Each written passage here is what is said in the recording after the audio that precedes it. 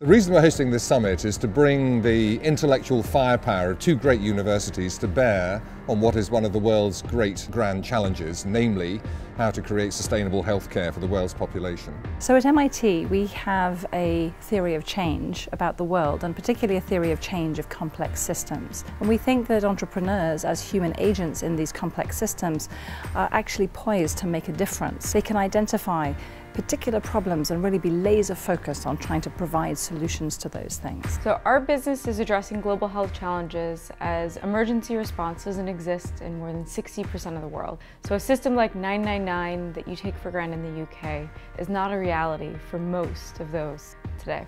MDaaS Global is helping address global health challenges by providing um, high quality diagnostics services to the people in clinically underserved communities across Africa. C the Signs is really helping to address global challenges by looking at cancer specifically. So we help clinicians to diagnose cancer earlier um, using artificial intelligence. We go on this whole journey of uh, trying to persuade health students that actually entrepreneurial skills are so completely and utterly vital um, for the way they have to be health professionals in the future. So they can't just be like the health professionals who went before them.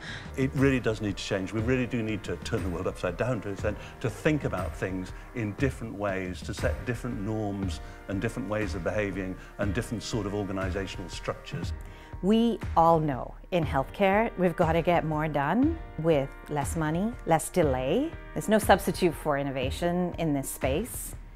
And entrepreneurs can deliver new ideas, new ways of thinking. And that was when I got the idea of building Clínicas del Azúcar. It's a one-stop shop to provide affordable, specialized, and convenient uh, diabetes care in, uh, in Mexico. We make precision medicine accessible to patients across the world in a timely fashion.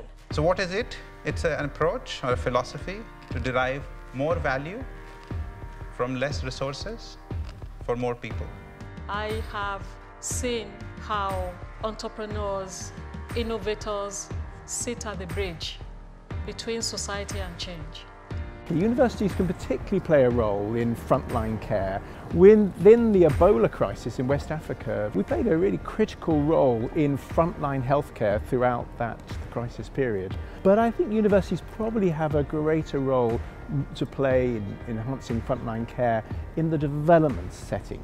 Um, in the long-term um, opportunities we have through global health partnerships. Entrepreneurship has been um, neglected in uh, the healthcare system to date. So I think entrepreneurship institutes have been really instrumental in shaping how we particularly think about um, the challenges and how we can actually develop them into businesses that have longevity. The advice I would give to um, future entrepreneurs would be to um, fall in love with the problem and not a solution to it because that solution might change but that problem would still remain. What advice would I give aspiring uh, health entrepreneurs? Don't wait.